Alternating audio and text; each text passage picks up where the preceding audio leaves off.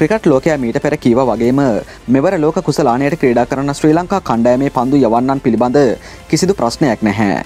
ලැබුණ සෑම අවස්ථාවේදීම ශ්‍රී ලංකා පන්දු යවන්නන් අවස්ථාවෙන් උපරිම ප්‍රයෝජන ලබා ගත්තා.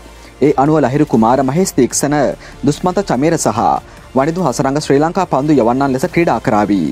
ඊට අමතරව චාමික කරුණාරත්න සහ දසුන් සානකද පන්දු යවන්නන් ලෙස ඉතා සාර්ථකයි. චරිත් අසලංක මේ වන විට යම් අසාර්ථක කාලයකට පැමිණ තිබෙන්නේ ශ්‍රී ලංකා කණ්ඩෑමේ අවාසනාවටයි. නමුත් අසලංක හට අනිවාර්යම කණ්ඩෑමේ අවස්ථාවක් ලැබිය යුතුයි. මොකද අසලංක කියන්නේ කොච්චර හොඳට සිටුවේෂන් එක තේරුම් අරන් ක්‍රීඩා කරන පිතිකරු වෙද්ද කියලා. නිමා වුණ දකුණු අප්‍රිකානු එක්දින තරගාවලියේදී අපි දැක්කා. දකුණු අප්‍රිකානු තරගාවලියේ තරඟ දෙකකදී ඔහුට අවශ්‍ය ලෙස ලකුණු අතරට ඒමට හැකියාව නොලැබුණත් අසලංක එහිදී හොඳ ඉනිම් කීපයක් ක්‍රීඩා කළා.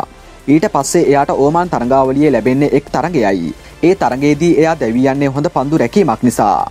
බංගලා දේශය එක්ක තිබුණු පුහුණු තරගේදී යළිත් ඔහුට සාර්ථක වෙන්න අවස්ථාව ලැබෙන්නේ නැහැ. ඊයේ පැපුවා නියුගිනියාවට එරීව තරගේදීත් ඔහු අඩු ලකුණු සංඛ්‍යාවකට දැවී යනවා. නමුත් ඒක දුවද්දී දැවී යාමක්. ශ්‍රී ලංකා කණ්ඩෑමේ උපනායක දනංජයද සිල්ලා පිතිකරුවෙක් ලෙස බොහෝ අවස්ථාවන් වලදී සාර්ථක නැහැ. ඉතිං ඒ වෙනුවට ඊට ගැලපෙන ආදේශකයක් කණ්ඩෑමට ගෙන ඒම වැදගත්. මෑත කාලයේදී ශ්‍රී ලංකාවේ වටිනාම සොයා ගැනීම චාමික කරුණාරත්න බවට කිසිදු සැකයක් නැහැ.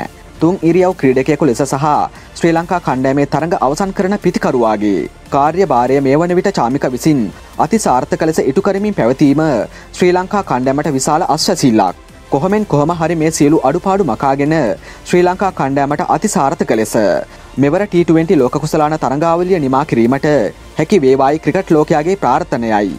පැයම් පෑ අලුත් එන දෙස් විදෙස් ක්‍රිකට් පිටියේ අලුත්ම ක්‍රිකත් තොරතුරු ඉදිරියටත් දැනගැනීමට නම් ක්‍රිකට් ලෝකයා YouTube නාලිකාව සබස්ක්‍රයිබ් කර බෙල් සලකුණ කලික් කරන්න.